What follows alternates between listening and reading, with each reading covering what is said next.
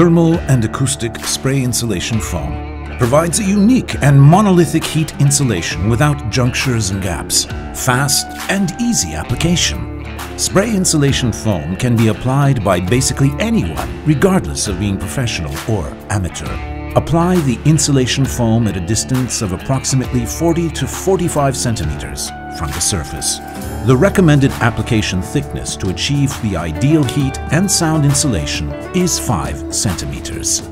With one can of spray insulation foam, insulation of an area up to 3 square meters with a thickness of 1.5 centimeters can be ensured. Thanks to its high adhesion strength, it can safely and reliably be applied on the entire known construction materials, such as metal, wood, concrete, brick, glass, and the like.